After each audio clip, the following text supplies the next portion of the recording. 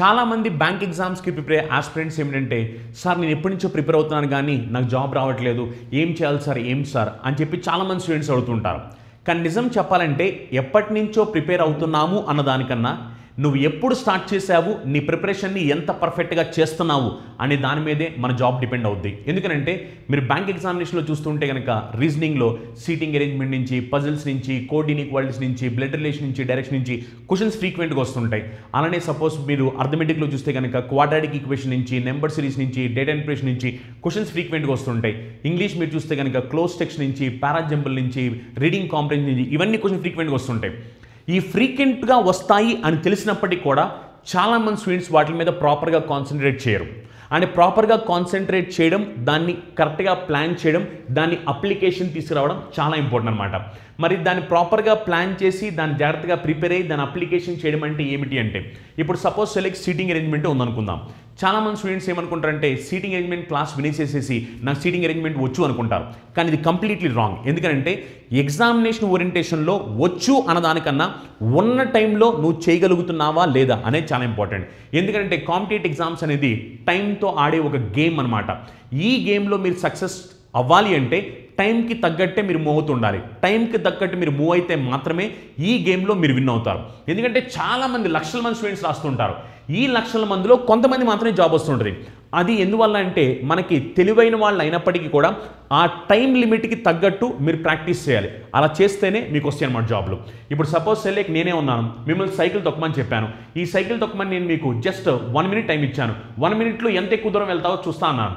ఇప్పుడు వన్ మినిట్లో ఎంత ఎక్కువ దూరం వెళ్తావో చూస్తా అని నేను అన్నప్పుడు ఒకవేళ ఎవరైనా ఒక విద్యార్థి లేదా ఎవరైనా ఒక పర్సన్ ఎక్కువ ఎఫర్ట్స్ పెడితే కనుక రోజు ప్రాక్టీస్ ప్రాక్టీస్ ప్రాక్టీస్ ప్రాక్టీస్ చేస్తే అప్పుడు ఏమవుద్ది?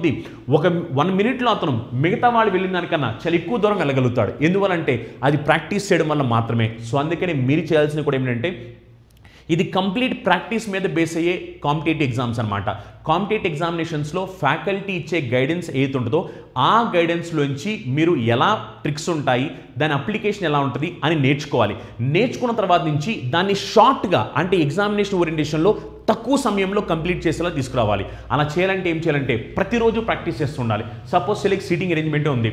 ఈ సీటింగ్ అరేంజ్మెంట్ నుంచి మనకి ఖచ్చితంగా పది నుంచి పదిహేను మార్కులు వస్తాయని తెలుసు.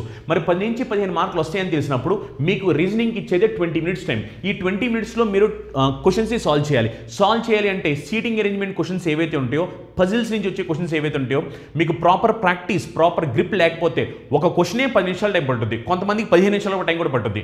కానీ ఆ ఒక క్వశ్చన్కి మీరు ఎగ్జామినేషన్లో పెట్టాల్సిన time two and half minutes నుంచి టూ మినిట్స్ మరి టూ అండ్ హాఫ్ మినిట్స్ నుంచి టూ మినిట్స్లో పెట్టాలి అంటే మీ ఆలోచించే విధానం ఎలా ఉండాలి? మీ థింక్ చేసే విధానం ఎలా ఉండాలి? మీ స్పీడ్ ఎలా ఉండాలి? ఇవన్నీ ఎలా వస్తాయి? ఇవన్నీ ఎలా వస్తాయంటే అంటే ప్రతిరోజు ప్రాక్టీస్ చేయాలి. అంటే సపోజ్ చేయలేక మీరు ఎస్బీఐ క్లర్క్ రాబోతుంది. ఒకవేళ ఇది రావడానికి ఒక forty five days fifty days time ఉంది. ఇక మీరు ఫస్ట్ డే నుంచి మొదలుపెట్టి ప్రతిరోజు ప్రాక్టీస్ ప్రాక్టీస్ ప్రాక్టీస్ ప్రాక్టీస్ అంటే ప్రతిరోజు మూడు సీటింగ్ అరేంజ్మెంట్లు మూడు పజిల్లు మూడు డేటా ఇన్పెడిషన్లు అలానే మూడు మూడు క్వాడ్రాటిక్ ఈక్వేషన్లు ఇలా ఏమిటంటే కంటిన్యూస్గా ప్రాక్టీస్ చేస్తున్నారు అంటే ఏవైతే షార్ట్ కట్స్ లేకోకోకుండా ఏవైతే షార్ట్ కట్స్ లేకోకుండా టైంని కన్జ్యూమ్ చేస్తూ ఉంటాయో ఇప్పుడు సీటింగ్ అరేంజ్మెంట్ పజిల్స్ ఇలాంటివి షార్ట్ కట్స్ ఉండవు కానీ టైం ఎక్కువ కన్జ్యూమ్ అయిపోతుంటుంది. ఏవైతే షార్ట్ కట్స్ లేకోకుండా టైం ఎక్కువ కన్జ్యూమ్ అయ్యేవి ఉంటాయో ఇలాంటి వాటి మీద మీరు ఎలా ఫోకస్ చేయాలి అంటే ఇలాంటి వాటిని మీరు డైలీ రొటీన్ షెడ్యూల్లో పెట్టుకోవాలి. డైలీ ప్రాక్టీస్ చేస్తుండాలి డైలీ ఒక మూడు సీటింగ్ అరేంజ్మెంట్లు మూడు పజిల్లు. కొంతమంది ఏమవుతారు? క్యాలిక్యులేషన్లో వీక్గా ఉంటారు. క్యాలిక్యులేషన్లో వీక్గా ఉంటే మీరు ఏం చేయాలి? ప్రతిరోజు క్యాలిక్యులేషన్ చేయాలి. క్యాలిక్యులేషన్ చేయడం అంటే ఏంటి? మీరు ప్రతిరోజు టైం స్పెండ్ చేయాలి. మల్టిప్లికేషన్ చేయడానికి లేకపోతే ఎడిషన్ చేయడానికి లేకపోతే స్క్వేర్స్ చేయడానికి క్యూబ్ చేయడానికి. మీరు ప్రతిరోజు చేయాలి.